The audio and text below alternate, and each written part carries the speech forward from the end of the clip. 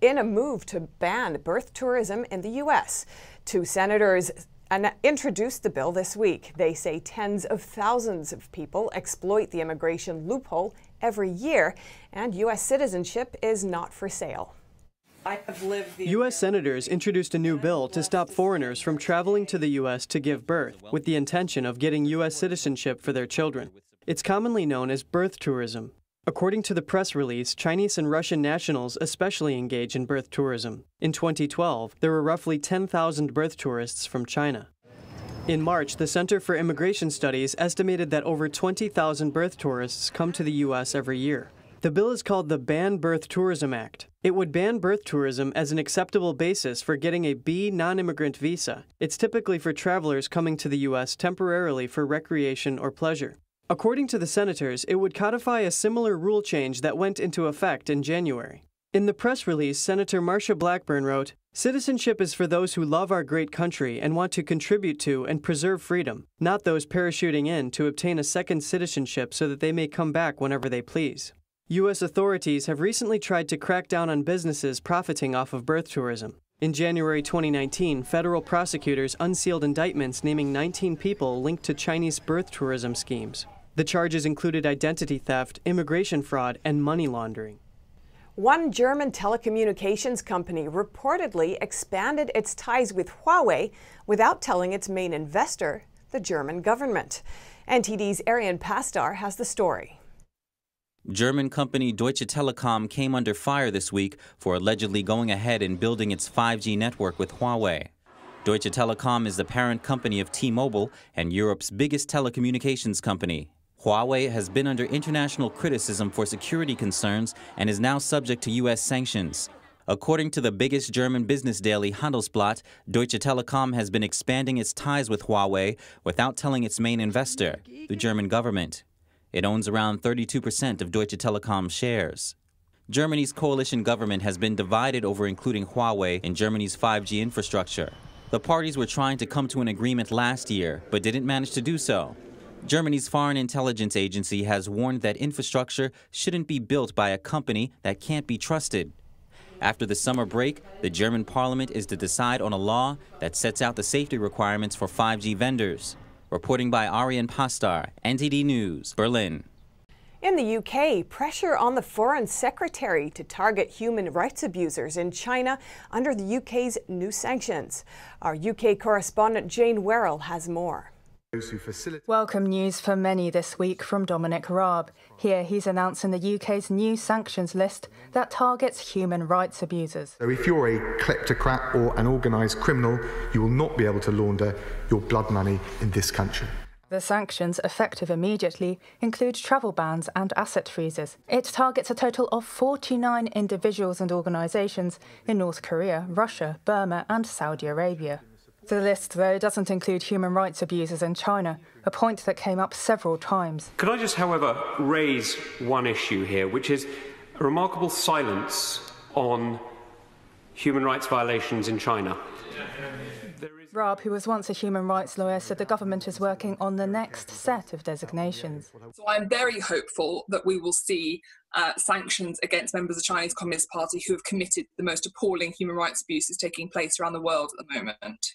Notorious abuses against religious and ethnic minorities in China, including Uyghurs in Xinjiang, House Christians, and Falun Gong practitioners, are well documented.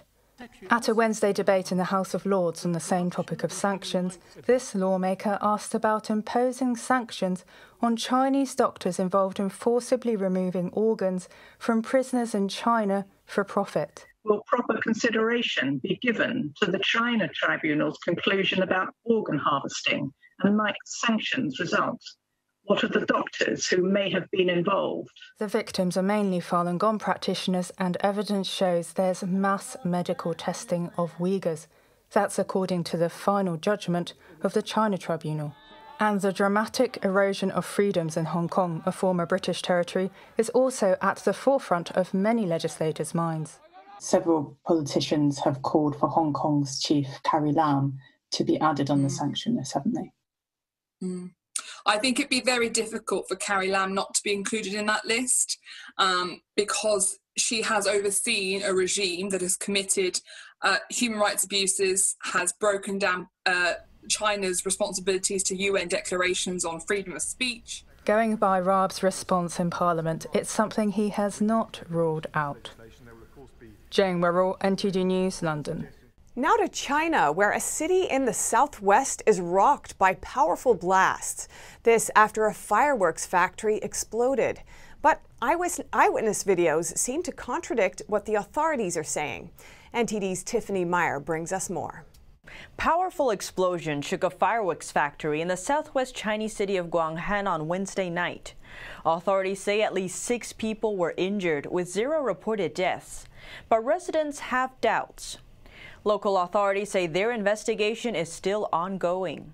According to images broadcast by Chinese state-run media, fireballs and yellow clouds rose into the air after the blast, and thick black smoke poured out from the plant. An aerial photography taken the following day shows the whole factory had turned to rubble. The building roofs had also been blasted away. One part of the factory had burned down completely.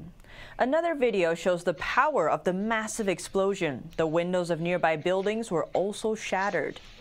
The explosion even impacted houses and buildings located over a mile away.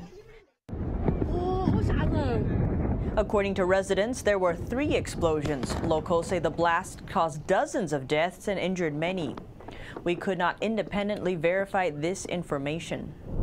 Now to China's widespread flooding. Landslides hit the southwestern province of Guizhou on Wednesday due to heavy rains and loose soil. Four villages and over 500 people were affected. Many are still missing.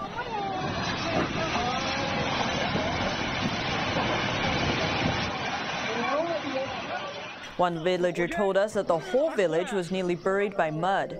Only three of four houses remained standing. Many people were later dug out of the mud but showed no signs of life. Others were washed away by floodwater. Thousands of acres of farmland are also flooded.